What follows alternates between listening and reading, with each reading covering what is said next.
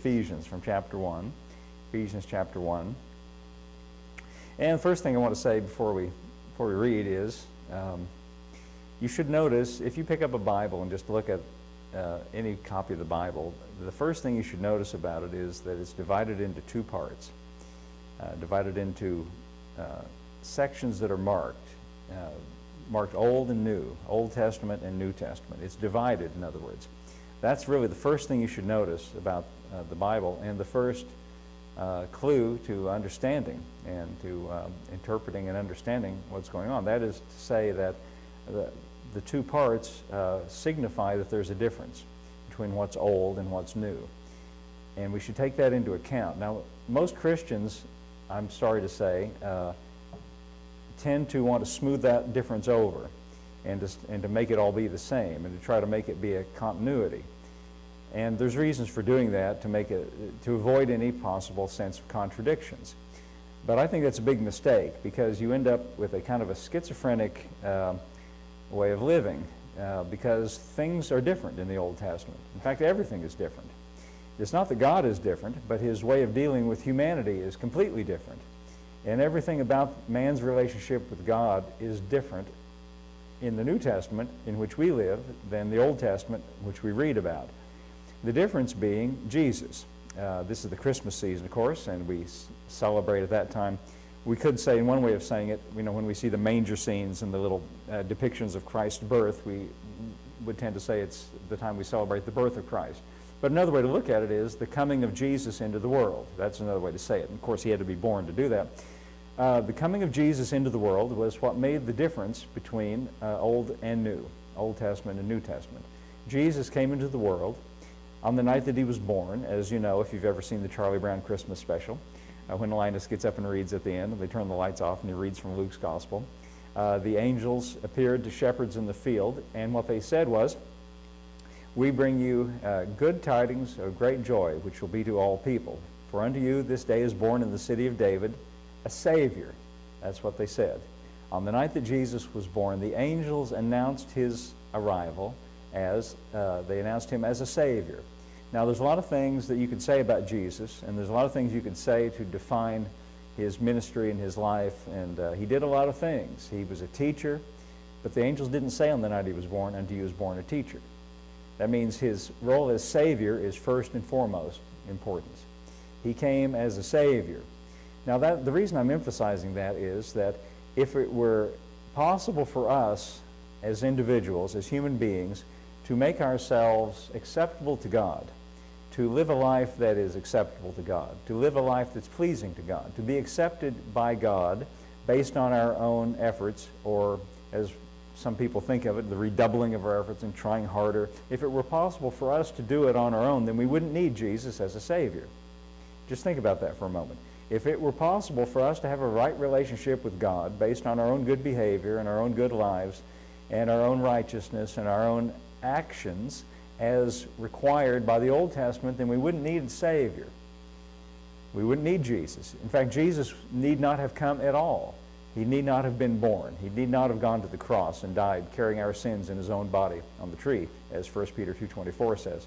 He need not have come at all. If it were possible for us to live a life that was acceptable to God, Jesus could have stayed put and God could have floated down an 11th commandment saying, try a little harder, folks. But all the trying a little harder wasn't going to cut it. You see, because let's just say it this way. If God is perfect and he's righteous and perfectly righteous and perfectly holy, the only way you can have a relationship with a perfectly righteous and perfectly holy God is for you to also be perfectly righteous and perfectly holy. Now, if I say it that way, I hope I've presented that as a daunting proposition. In fact, so daunting that uh, if you're honest with yourself, you know that you could never be perfectly righteous or perfectly holy. In fact, I've never met anybody yet who said to me, I'm perfect. now, I've never met anybody who told me that. I have a lot of conversations with people. I don't really understand uh, why. I guess uh, something I've said or written somewhere, like in the newspaper, they put little things, rubs them the wrong way, and they want to try to talk me out of it. Or just uh, uh, last week, I had a, a fresh one. Somebody wanted to meet with me and talk about uh, you know, some of these things. But I've never met anybody yet who said, you know what, I'm perfect. No, what most people say is, I may not be perfect, but I'm better than these people over here. But you see, it's not good enough. It's not good enough to be better than somebody else. God doesn't grade on a curve. To be accepted by God, you've got to be perfect. If God's perfect, to be accepted and have a right relationship with God, however you want to say it, make it into heaven. Somebody called me one time, asked me to come pray for their uh, a loved one of theirs, a, a, a, woman who was uh, on her deathbed. The, the doctors had said she's going to die soon. She didn't uh, come to our church, and that's okay. I don't mind. Uh, but I went to pray for her anyway. I didn't know her personally. That's what I'm saying. I knew the, the children of this woman. So um, she went to another church. Uh, it, in fact, I asked her when I went to pray with her, uh, I said, are you a Christian? And she said, oh, I've been, I've gone to church all my life. I never miss. And uh, so I said, well, can I pray for you? And then she began to kind of tear up a little bit, and she said, I just, listen to this. She said, I just hope I've done enough good things to make it in. Now, she knew the doctors had said she's going to die soon, and she had no confidence at all that she would be accepted by God. She said to me, I hope I've done enough good things to make it in. Now, that's, uh, those words mean I feel insecure about it. I feel unsure. Now, uh, I, I, think a lot of people feel that way. And I would like to say, I, it's, it's sad, but it's probably because she's been in church all her life. She probably heard in church, we tend to hear a lot of emphasis on you what you do, what you're supposed to do, what the requirements are, what you're supposed to do. And the problem with that is it creates this impression that um, God is expecting you to conform to some kind of a standard, and if you don't conform, then He's not going to accept you.